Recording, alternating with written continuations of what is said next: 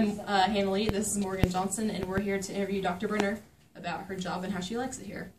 So, um, how do you like being principal here? I like it very much. The people are really nice and the kids are good. Well, thank you. We would like to know what led you here to Waverly High.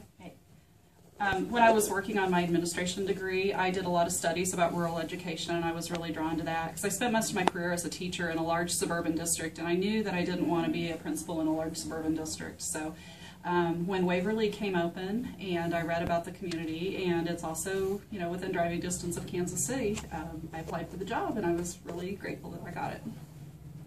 Also, we would like to ask you, how much does the student voice matter in the decisions that you make? Well, it's funny you would ask, actually. you want to follow me over here for a second? When I was working on my doctorate, let me see if I can find it. Oh, it's right here. My research study was called Student Voice in Educational Decision Making Processes, a key component to student learning. So that's very important to me. That was my that was my research topic. So All right. Oh, that's Yeah. perfect. Yeah. and last question. Um, we go. What kind are your glasses? What I'm sorry, say that again? Like, what kind are your glasses? Like, are they like Oh. bifocals?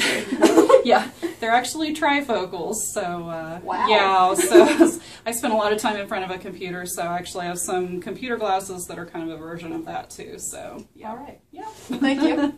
you're welcome.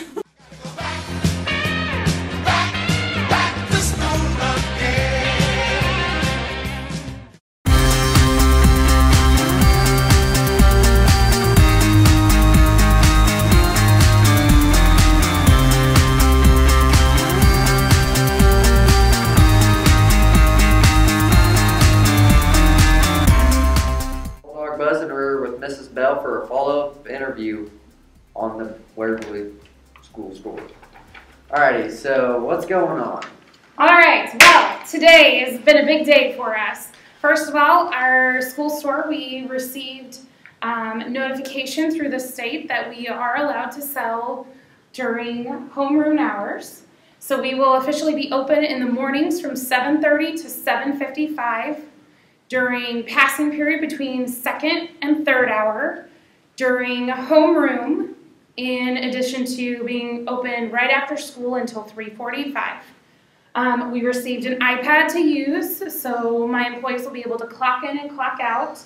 They'll also be able to set up the school inventory with that, and eventually we'll move to being able to accept debit or credit cards. Um, so behind me here, I have uh, some of our first product items. So uh, our school store will open this Wednesday. Yay! We have vitamin water. We have Sobe water. We have oven baked lay chips some organic juices. Um, we also have highlighters, pens, mechanical pencils, dry erase markers, applesauce, Coke Zero, snack pack pudding, chewy granola bars, crunchy granola bars, as well as Diet Mountain Dew. And then also in the free, over in the refrigerator, we have um, Go-Gurt and cheese sticks and wait for it, da da da da, fudge bars.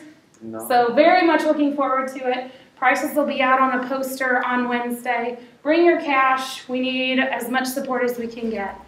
Alrighty, well, thank you for your time. Thank you.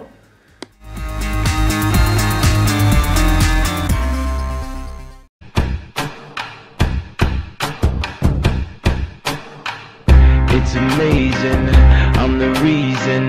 everybody fired up this evening. I'm exhausted, barely breathing, holding on to what I believe. Howdy folks, sports anchor Gary Mars here with girls assistant coach Ty Piper. So Ty, how do you think your girls have been playing this regular season? I think we've been playing pretty well. We're undefeated, 10 and 0. Uh, we're the, the first girls team to ever do that in Waverly, so uh, that's got that's pretty pretty good. LCL tournament's coming up. How do you guys think you guys are going to do against Burlingame? Um, well, we've played them twice already, and both times we uh, have had some success against them. So I anticipate we'll, we'll probably continue that and try to move on to the semifinals. Who do you think is going to be your toughest opponent this tournament? Ooh, that's a tough question. I think whoever wins, you know, whoever wins the semifinals between Olpe and Madison will probably be our toughest toughest pl- uh, play if we make it to the championship. Um, Madison gave us probably the toughest game we've had so far this year, uh, but but Olpe's always good. So Yeah. those two. Have you guys had any players that really stood out over the season?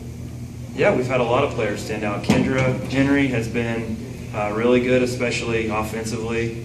Uh, Melanie Romig has been really good. Uh, PJ Meter and Bailey Massett have both been really good. And then we have good senior leadership with Haley and Kit Kaylee and Mercedes. So yeah, we've had a lot of a lot of good girls step up. All right, well, we wish you best of luck in the LCL All tournament. right, thanks, Garrett. Yeah.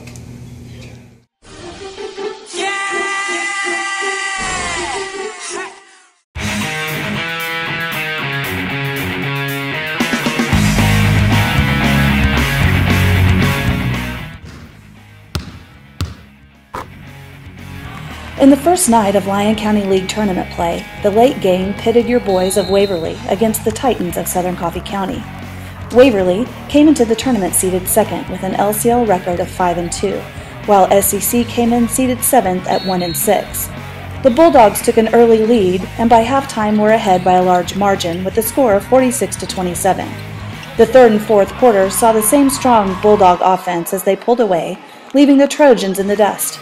The Bulldogs met the buzzer with a win of 81 to 50. The Bulldogs will see their next play on Friday at 5:30.